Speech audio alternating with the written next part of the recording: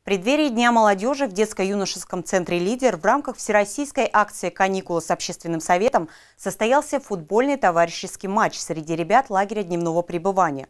Тему продолжит Наталья Дуркина. Мяч в игре. Ведущую позицию на протяжении первых минут занимала команда синих птеродактилей. Отражали атаки противников, смело шли в нападении, и все это под чутким руководством капитана.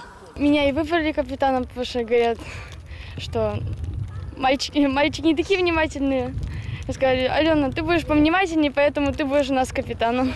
Однако в следующие минуты лидерство было за оранжевыми драконами. И спустя несколько неудавшихся попыток забить мяч, они все-таки забивают долгожданный гол.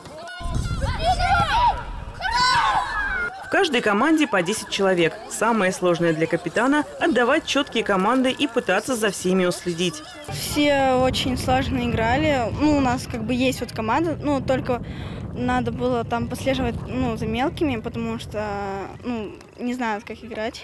И вот, вот так была слаженная команда у нас. Прям командой-командой. Товарищеский матч по футболу проходил в преддверии Дня молодежи. Организатором выступил общественный совет при МВД России в рамках акции «Каникулы с общественным советом». В рамках данного мероприятия, да, каникулы, проводятся различные акции, соревнования, турниры, флешмобы, то есть лекции, э, все, что вот связано с данной тематикой. Вот сегодня проходит вот такой турнир у нас соревновательный по футболу, приуроченный к Международному дню футбола. Товарищеский матч между ребятами из летнего лагеря детско-юношеского центра «Лидер» закончился со счетом 2-0 в пользу команды «Оранжевые драконы». Я вас поздравляю с Днем детского футбола, с наступающим Днем молодежи. Эм, желаю вам хороших каникул, больше солнечных дней, хорошего настроения. ведите себя правильно, не хулиганьте, слушайте родителей и старших. Я отдельно хочу поблагодарить Олега Вячеславовича, руководителя вашего дневного лагеря вообще всего, что связано с лидером.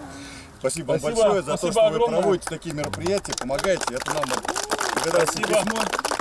Летний оздоровительный лагерь для спортивных детей ежегодно собирает более 70 человек. Ребята повышают физическую подготовку, волевые качества. Им прививается любовь к спорту. У нас э, в этом году три отряда, 75 детей – Э, оздоравливаются, занимаются по направлениям. У нас три направления.